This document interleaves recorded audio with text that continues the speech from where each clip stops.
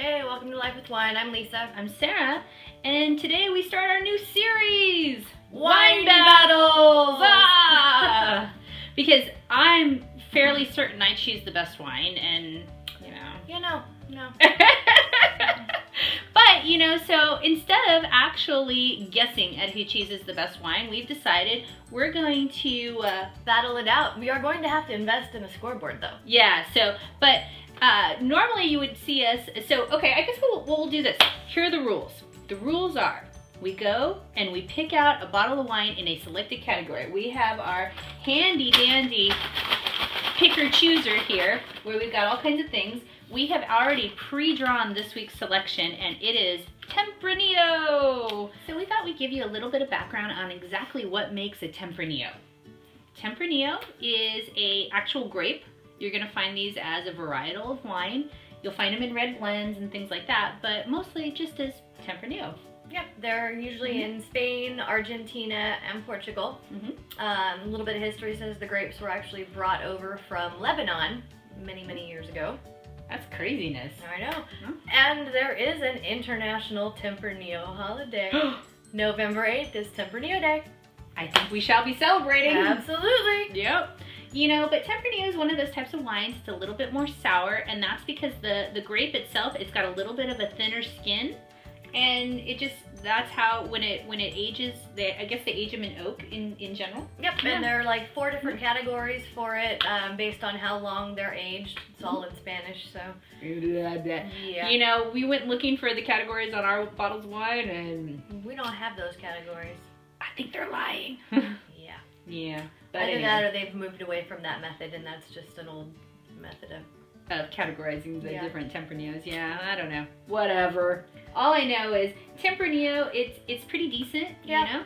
It says it's on the medium body, so and the, the chart I saw showed Pinot Noir at the light end, Tempranillo in the middle, and Syrah on the full bodied end. I would say Syrah is heavier, but you know what? I've had a lot of Pinots that are Yeah. heavier than the Tempranillos. Yeah, maybe So- we just we will have to bottle more Tempranillos in the future. I guess so. So I don't know, but at any rate, yeah. So we're gonna we're gonna get to the battle here. So today we are in Bevmo, and Holy we're cow. going to be using the Vivino. What? I said, "Holy cow!" we're going to be using the Vivino app to rate wines for our wine battle. So today we're doing Tempranillos. So we've lined up all of the different Tempranillo bottles down here that we have see. to choose from. And I am going to use the Vivino app.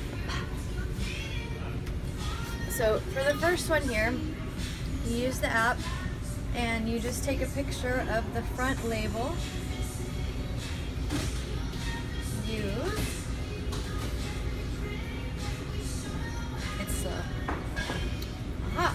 So it tells me that this Tempranillo is rated a 3.4 on a five star scale. And it also tells you a little bit about the wine.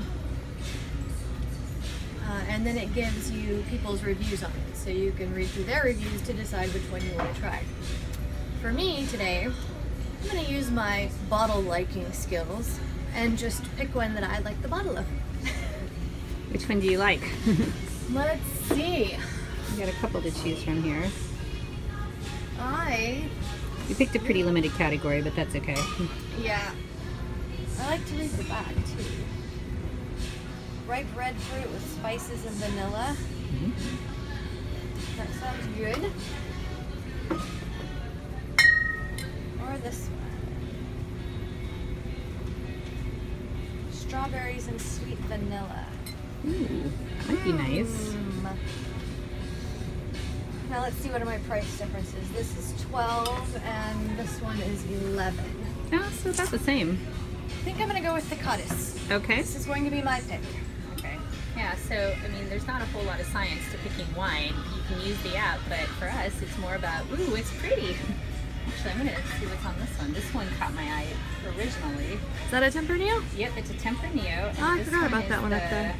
Wild berries and light vanilla. That might be nice. Might be nice. Of course, we gotta go with something, the Loco wine, Paso Robles. Oh, there's no, there's no description on this one. And then this was my other one that caught my eye. This is a Buscado, which means most wanted. Ooh. Okay. You know, I think I'm gonna go with this one. So I'm gonna take the Buscado Tempranillo and Hmm. see how that works out. What's the price on that one? So this one was $9.95. This one is it looks like it's uh, $11.95, and it's also Okay. five cents. So I can get a second bottle of this for five cents. Aha, bonus. I know. So if it's good, that would be a good thing. Heck yes. All right. All right. So these are our choices. So we're gonna go back and actually battle it out. That's right. What we did, we went to Bevmo, we picked out some Tempranillos. Uh, she picked out one, I picked out one, and we're gonna battle it out. Yep. And what we're doing is a double blind tasting, meaning. I'm gonna start opening these while you're telling them the rules. Yep, so we do a double blind tasting. She pours her bottles of wine, or uh, a good size t- uh, tasting, into some wine glasses labeled one and two.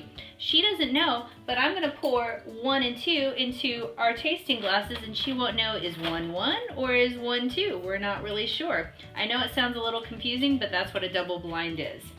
I'll probably be confused during this process. The rules haven't quite yet sunken in. so after we've tasted, we will choose a victory wine and we'll figure out which one is actually which. And the winner gets to choose next week's challenge. So that's how this is Yeah. gonna work. We have poured up the wine. What we did is Mhm. I went into the kitchen, opened the wine bottles, poured them into two separate wine glasses labeled one and two. And then I came and set those glasses on the table. I left the room and Sarah took glasses one and two and poured them in each of our respective cups. Yep. That's how we get the double blind. Yep. I'm no longer confused. yeah, so I know it sounds like it sounds like a lot of effort, but basically I have no idea where my bottle of wine is and she has no idea where her bottle of wine is. We are just gonna straight up te- Yep. taste. So let's introduce the bottles of wine that we're actually battling it out today. All right, since we were doing Tempranillos, this one was my pick. It is Codice, the Mm, 2012 Tempranillo. yum yum. Um, yeah, it goes with a bouquet of summer strawberries, hint of vanilla, ripe cherry. That was what piqued my interest. Sounds good. Yeah. Where I went with Buscado. Uh, it's the brand. Tempranillo is the type.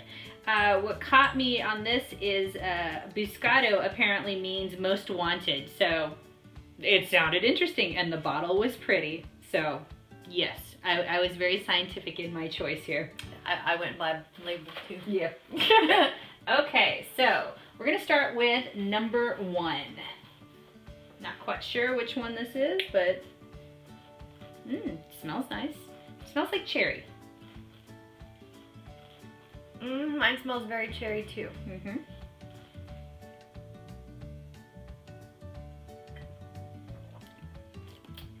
Ooh, I like it. I do like it. It's almost like a deep black cherry. A deep black cherry covered in wine. Don't know. Ooh, but it's kind of got a soury aftertaste. Hmm.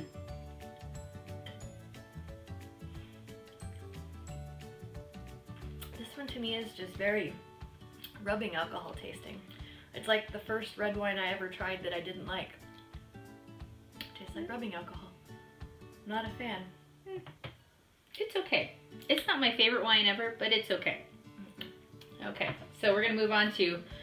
Whew, it is that one's a harsh one, a little bit, a Mm-hmm. little bit. Hmm.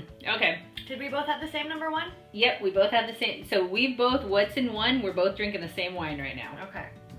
Yep. Yeah, I'm not a fan. Okay, so now this is num one number two. Smells about the same, truthfully.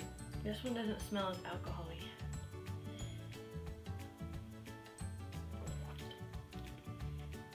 Ooh, I like that, This one's more sour, but I like it. but it doesn't taste like rubbing alcohol. Yeah. It's more sour, but in in general terms, I think it's actually just more mellow. Yeah. I, I, would I say- like that. I'm gonna go, yeah. Hmm. I just don't think in general Tempranillo is one of my favorites.